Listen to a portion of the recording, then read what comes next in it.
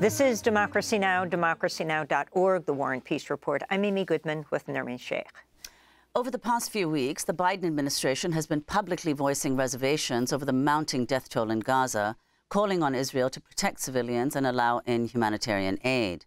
But behind the scenes, the Biden administration has quietly approved and delivered more than 100 separate weapons sales to Israel over the last five months, amounting to thousands of precision guided munitions, small diameter bombs, bunker busters, and other lethal aid. This, according to a new investigation by the Washington Post. Only two approved foreign military sales to Israel have been made public since the launch of Israel's assault on October 7th, amounting to over $250 million worth of tank shells and ammunition, which the administration authorized using emergency authority to bypass Congress. But in the case of the hundred other weapon sales, known as foreign military sales, the arms transfers were made without any public debate because each fell under a specific dollar amount that requires the executive branch to individually notify Congress. For more, we're joined by Josh Paul, a veteran State Department official who worked on arms deals and resigned in protest of a push to increase arms sales to Israel amidst its assault on Gaza.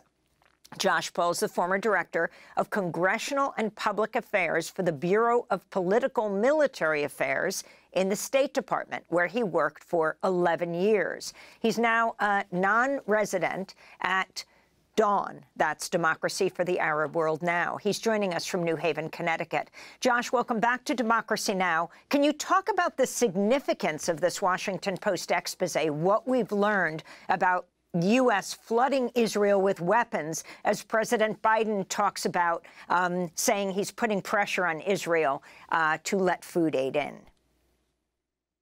Thank you, and thank you for having me. I, I think what we've learned from this story uh, shouldn't be a surprise to anyone. Uh, it is that the president continues to facilitate the flow of arms to Israel, despite a change in tone.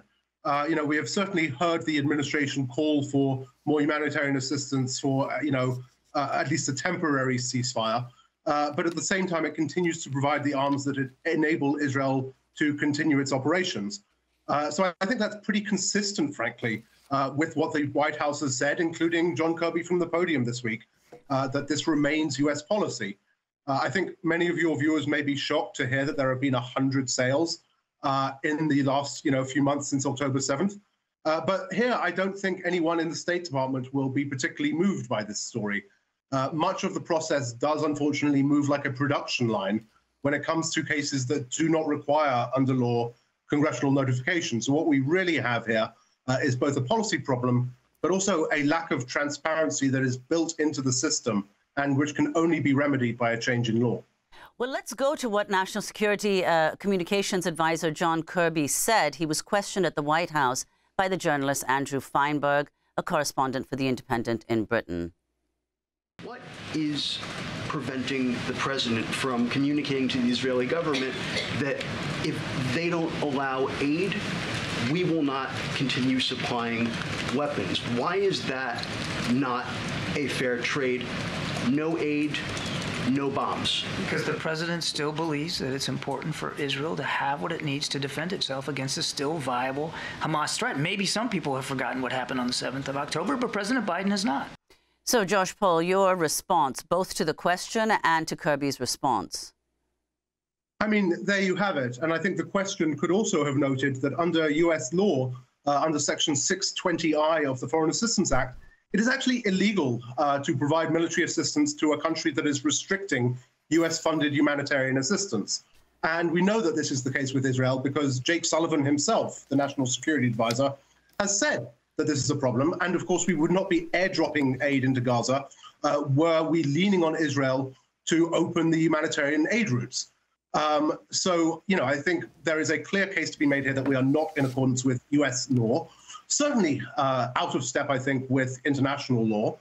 And uh, at the same time, the Biden administration position remains we will continue to provide arms uh, to Israel of whatever it requests and requires.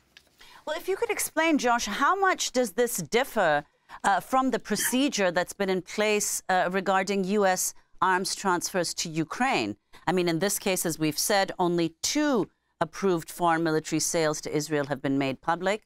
What about to Ukraine?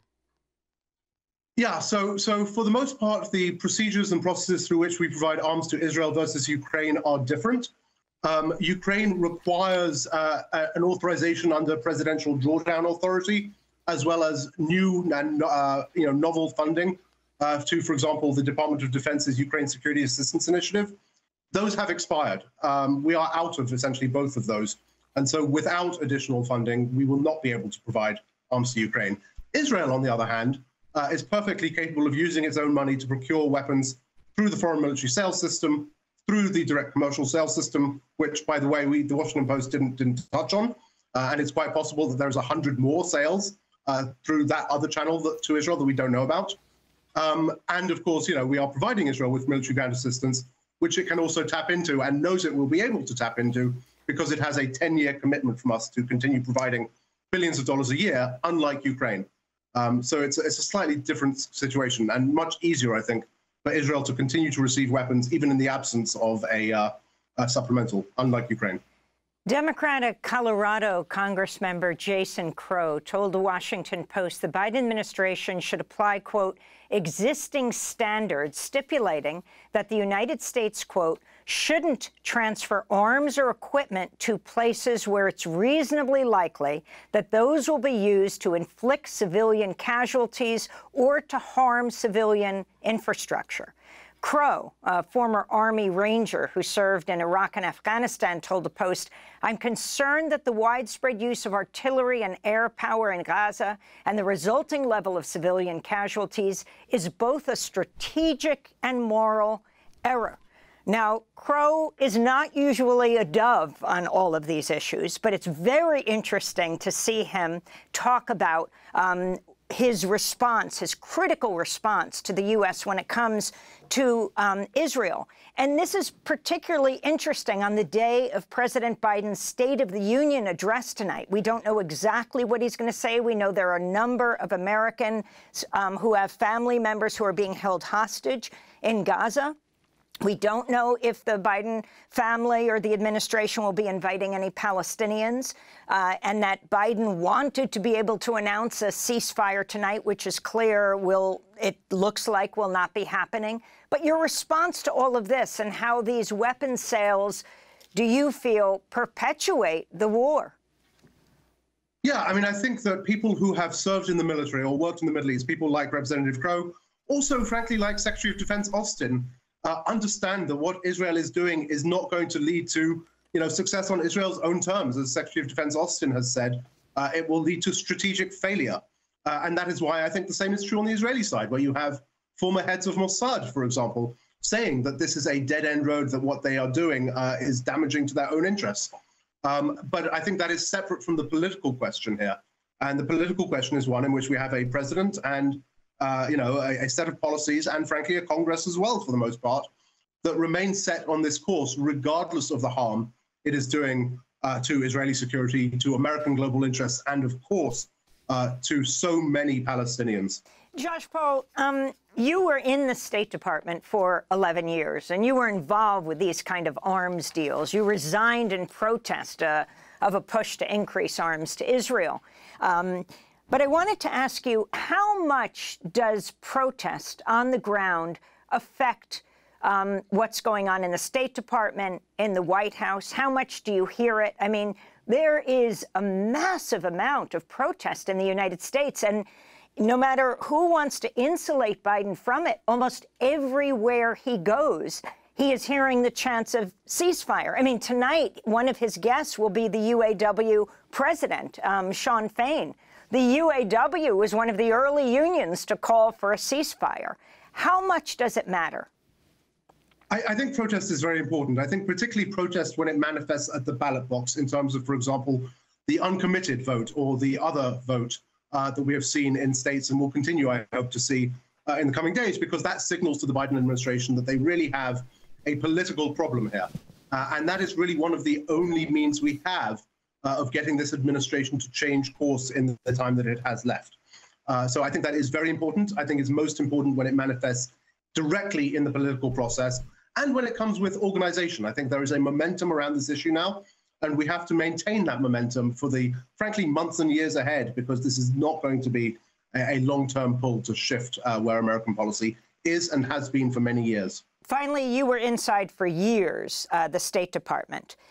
And now that you've resigned, and we sort of ask you this every time since then, how many people inside the administration have reached out to you? Do you feel that that's increasing? And how many times do they tell you that they've been discussing this with Biden or the inner circle of Biden and what their views on this are? I mean, Biden was no fan of Netanyahu um, from the beginning. And so yet he is embracing him now, what they are saying.